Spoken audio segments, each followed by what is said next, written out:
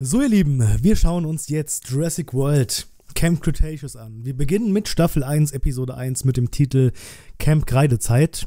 Und zwar werde ich das so machen, dass wir uns Episode für Episode anschauen. Also jede einzelne Episode werde ich auch hier auf dem Reaction-Kanal gucken. Vielleicht sogar irgendwann mit euch zusammen mal auf Twitch. Auf jeden Fall werden die Videos danach immer hier auf dem Reaction-Kanal hochgeladen werden. Parallel dazu werde ich auf dem Hauptkanal Anon Kaijuverse die Reviews zu den einzelnen, zu den einzelnen Episoden veröffentlichen. So ist der Plan. Und jetzt beginnen wir einfach mal mit Jurassic World Camp Cretaceous Staffel 1, Episode 1. Ich habe echt Bock drauf, mir das Ganze nochmal reinzuziehen, denn ich habe davon fast gar nichts mehr auf dem Schirm.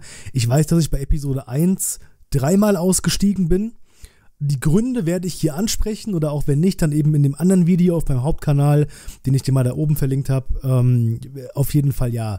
Der Einstieg hier ist schwierig und ich meine mich erinnern zu können, dass Episode 1 und 2 so ein bisschen hacklich waren, aber danach geht es wirklich steil voran. Deswegen steigen wir jetzt gleich ein mit Jurassic World Camp Cretaceous Staffel 1 Folge 1. Los geht's.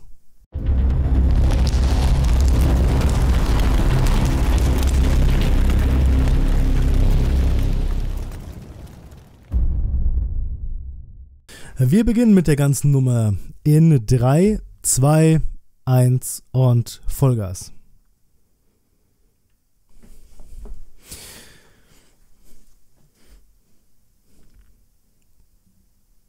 Ich habe euch auch übrigens da oben einen Keim, äh, Keimcode, einen Timecode eingeblendet, damit ihr ungefähr mitverfolgen könnt, wo ich jetzt gerade bin.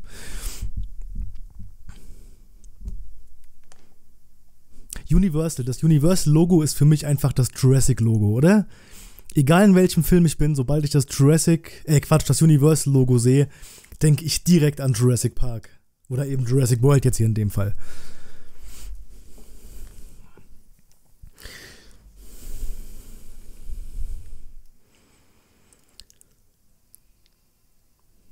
Der T-Rex, ey, ich habe gerade unfassbar Bock auf diese Serie, ist ja krass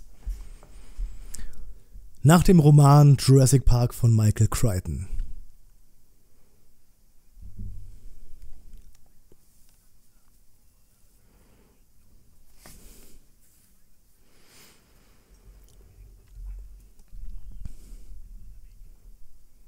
Ja, auch der Sound von den Raptoren ist halt unfassbar geil, ne? Ich finde, jeder Saurier hat so einen eigenen Wiedererkennungswert vom, vom Geräusch her.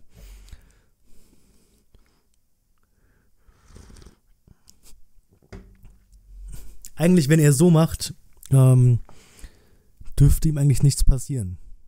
Obwohl eigentlich muss man so machen. So bist du immun gegen alles.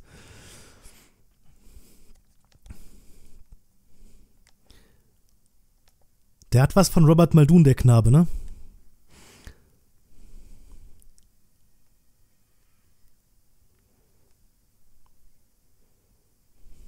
Er ruft um Hilfe.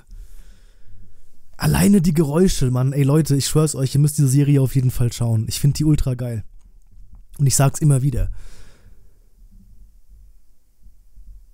Ah, ja, ich erinnere mich dran. Das ist gleich saublöd.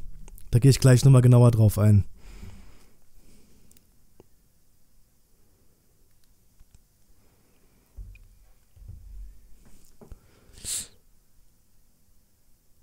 Ist schon für eine Kinderserie recht harsch, finde ich. Auch wie er schreit und alles.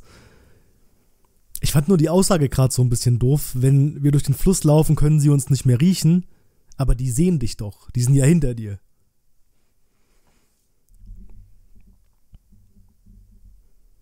Game over. Ja.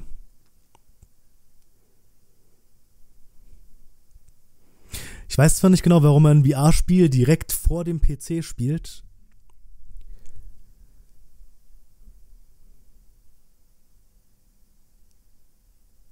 Boah, diese Poster hätte ich aber auch gerne im Hintergrund. Die sehen geil aus. Kennt ihr diese Poster von früher, wo ihr so Angaben hattet wie Größe, Geschwindigkeit und sowas? Die gab es früher in so Apothekenheftchen.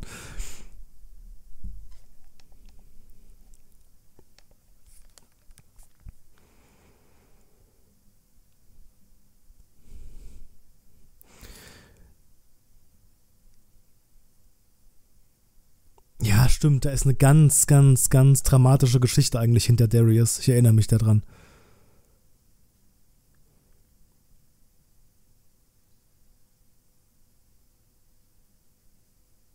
Also die Charaktere in der Serie sind definitiv besser als die in Jurassic World. Also in den, in den Filmen. Hundertprozentig.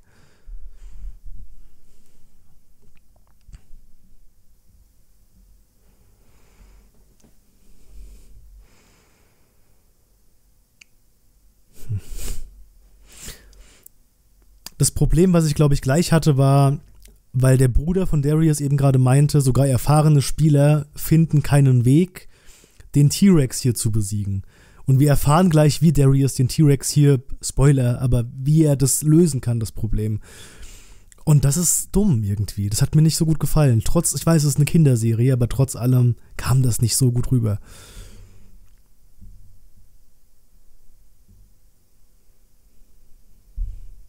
Was denn das? Ein Triceratops, eine Spardose, Parasaurolophus, T-Rex, das sind Figuren zum selber anmalen, finde ich geil. Mobileb, Pteranodon, Stegosaurus.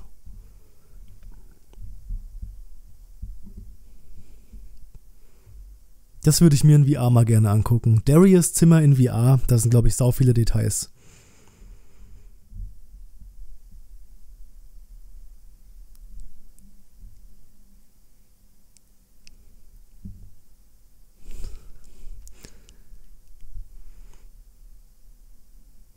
Das ist schon cool. Das ist, es müsste aber jetzt auch wirklich ein Buch von Dr. Alan Grant sein, was er, glaube ich, gerade in der Hand hatte. Ähm, warum, das erfahrt ihr gleich. Das macht gleich Sinn. Ich dachte sogar, es stünde sogar drauf, aber man hat es eben gerade auf jeden Fall nicht gesehen. Und zurück in die VR-Welt.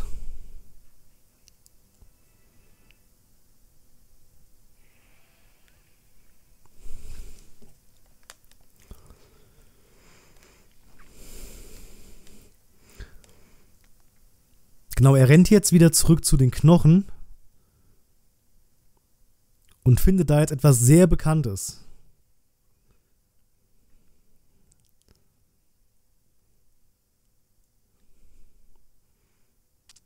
Da. Die Resonanzkammer eines Velociraptors.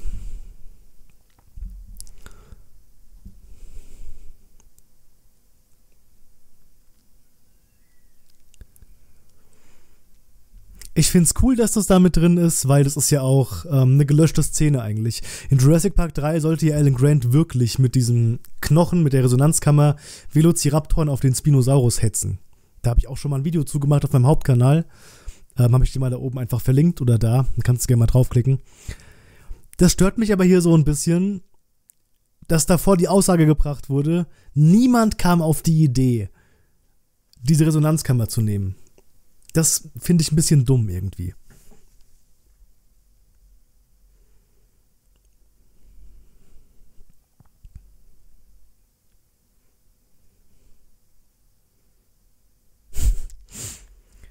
Ist so, eine, so ein bisschen Willy Wonka angehaucht, oder? Oh, die Musik, ey.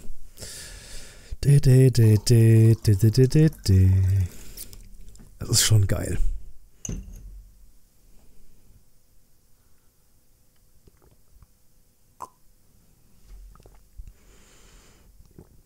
Ja.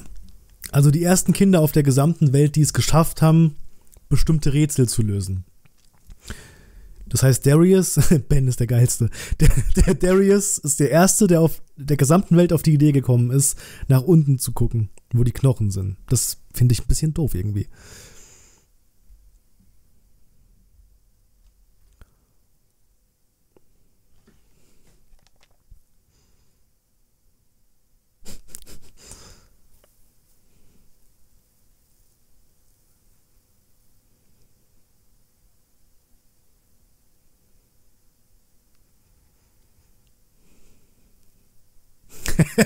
Ey, die sind, ich, ach, ich liebe diese Figuren einfach. Ich freue mich auch so auf Jurassic World Chaos Theory. Ich habe Bock auf diese Serie gerade.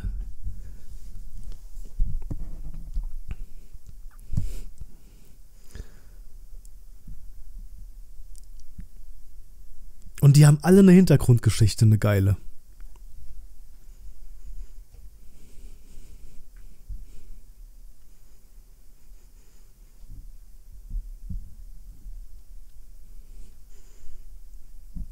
Also Brooklyn ist ja eine, eine Influencerin, die ja extrem berühmt ist in dieser Welt. Warum filmt die dann für Instagram Stories so? Macht man das nicht eher so? Ich mach das auch manchmal so, gell? Habe ich am besten meine Schnauze. Aber trotzdem, müsste es eigentlich besser wissen.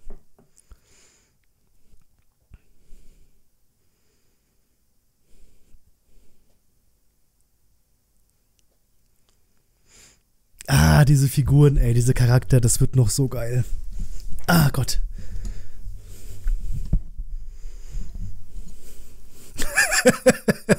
das ist.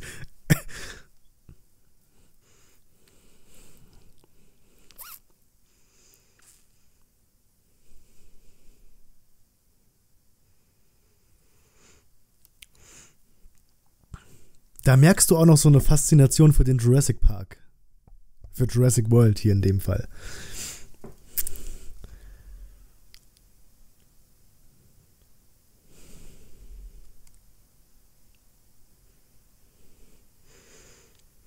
Kann ich noch alle Namen aufzählen? Das war auf jeden Fall eben Ben, Brooklyn, ähm, Kenji, Darius, Jazz und Sammy. Das war's, glaube ich, ne?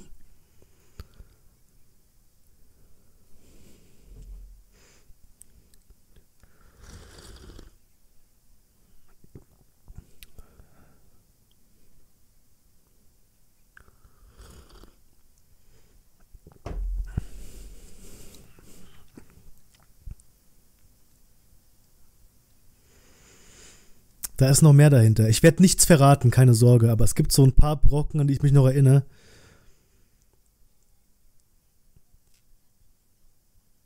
Und diese Figuren haben alle eine Backstory. Alle. Und manche sind wirklich nicht ohne.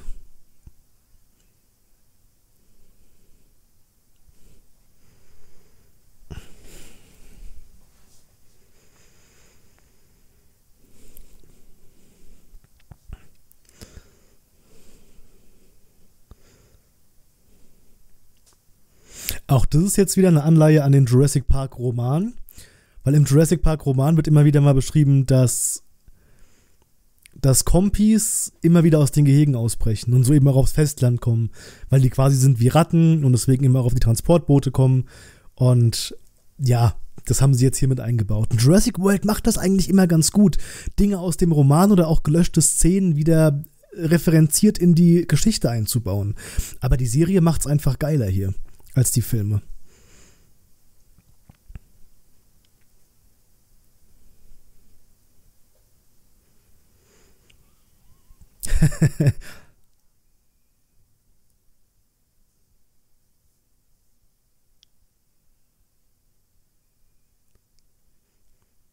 Auch das ist so gut. Wir haben bisher immer diesen melancholischen, ich sehe zum allerersten Mal einen echten Dino-Moment gehabt, mit einem Brachiosaurus, immer mit irgendwas Großem. Und hier haben sie jetzt einfach einen der kleinsten Dinosaurier genommen.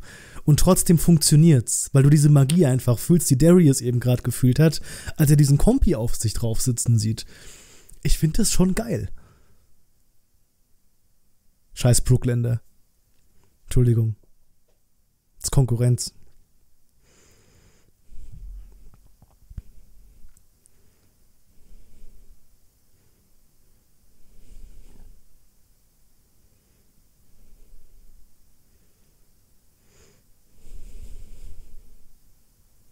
Oh, jetzt kommt hier.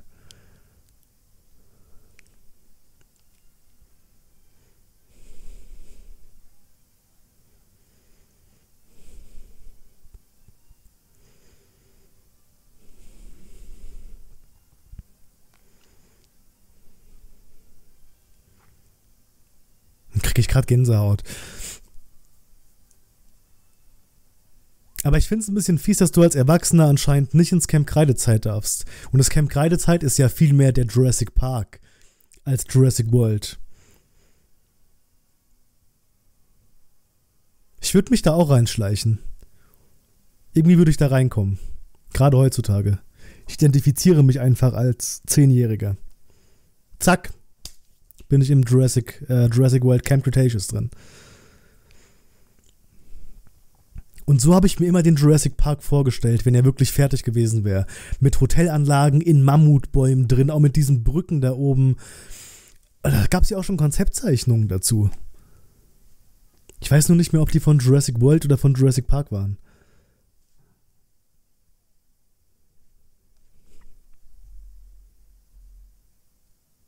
Scheiße auf dein Penthouse, Mann.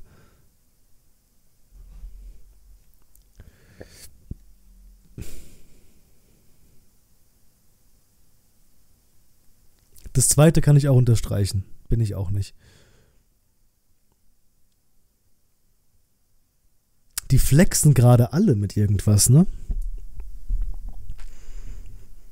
Kennt ihr so Menschen, die keinen Dialog führen können, sondern wenn du zu jemandem irgendwie hingehst und sagst, ey, ähm, ich war letzten Urlaub, war ich in Spanien gewesen und die Person geht aber dann nicht darauf ein, sondern sagt, ah, ich war aber da auch schon mal und war auch noch da. Und dann geht es immer weiter und man versucht sich als irgendwie zu toppen. Das war eben gerade hier auch der Fall. Führt Dialoge, ihr Pfeifen.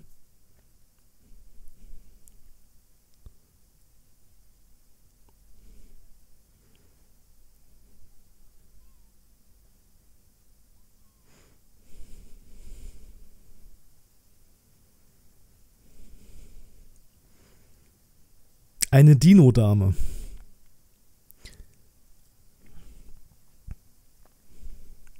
Da müsste ich jetzt eigentlich hier mal drauf achten. Da haben wir nämlich auch schon mal drüber gesprochen. Sind in Jurassic World selber auch alle Saurier wieder nur Weibchen? Wurde das mal irgendwie gesagt? Weil ich weiß es wirklich nicht.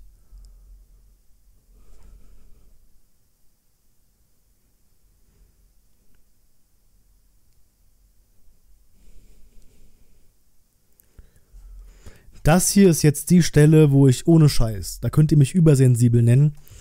Hier bin ich wirklich dreimal ausgestiegen. Bei dem Moment.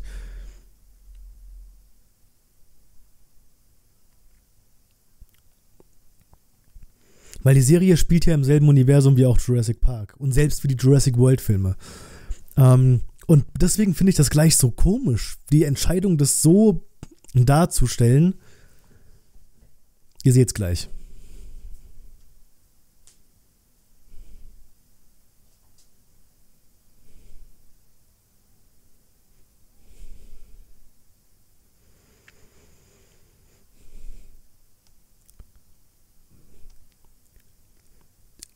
Ja, so eine Seilbahn ist schon ziemlich geil. An sich ist die Idee schon cool.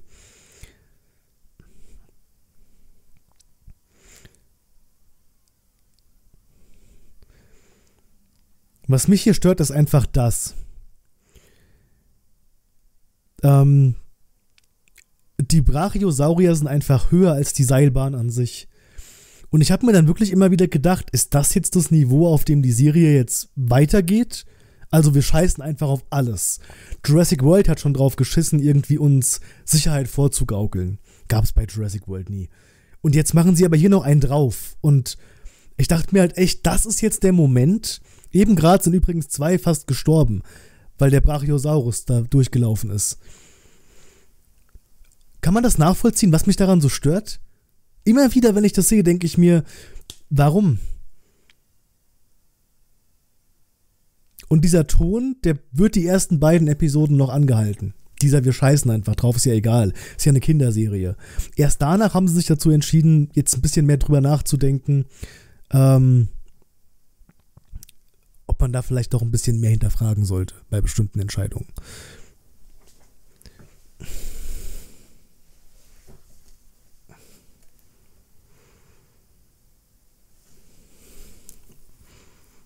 Aber auch das Innere dieser Hotels sieht geil aus. Finde ich richtig cool.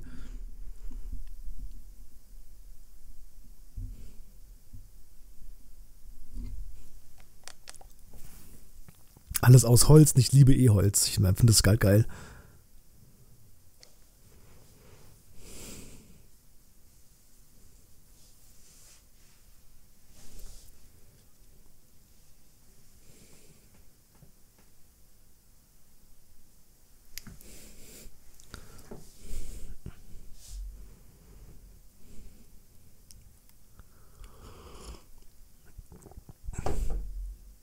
Kenji erinnert mich irgendwie gerade voll an ApoRed.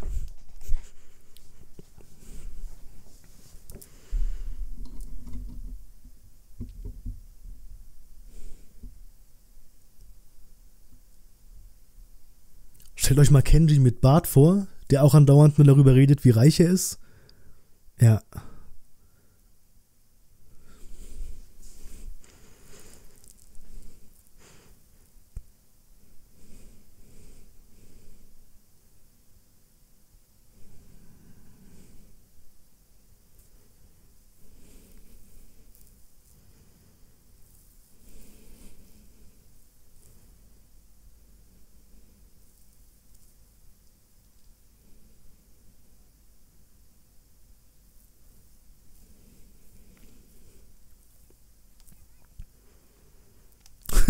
ja. Ah, die sind doch schon alle irgendwie sympathisch, ey. Sogar Apo Kenji Red ist doch irgendwie auch sympathisch.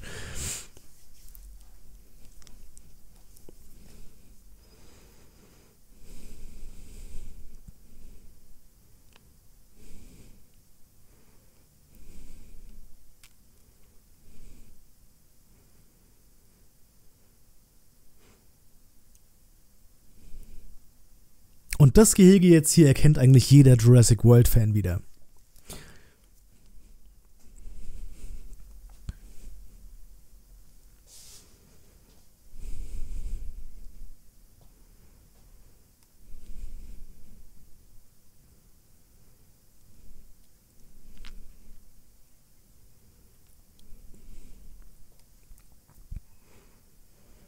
Aber das Handy ist auf jeden Fall saugute Qualität.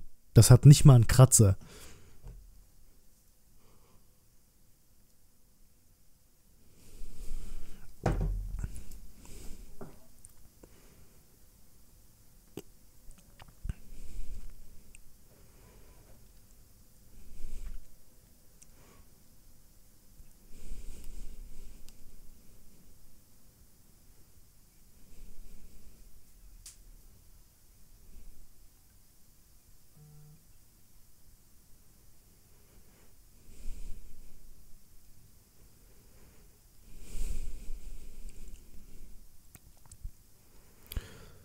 Oh, die Knochen, die lassen Böses erahnen.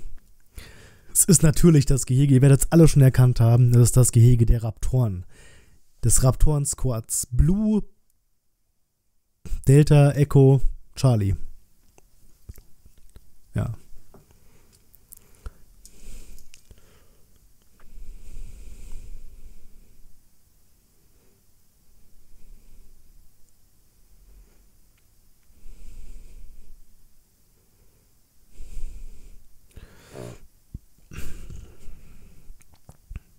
In der Serie werdet ihr übrigens immer wieder auch mal Momente erleben, wo Raptoren noch gefährlich sind.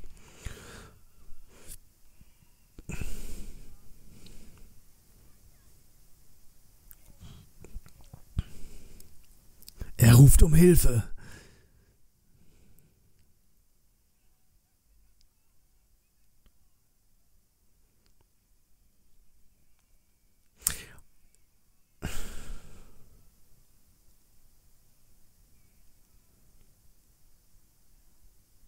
Ja, das war jetzt nicht die schlauste Idee. Zumal er war doch eben gerade einfach auch sicher gewesen, oder nicht? Also die wären doch jetzt eben gerade gar nicht reingekommen, die Raptoren. Drück wieder auf denselben Knopf, der das Tor aufgemacht hat, um es wieder zuzumachen. Wäre das nicht ein Plan?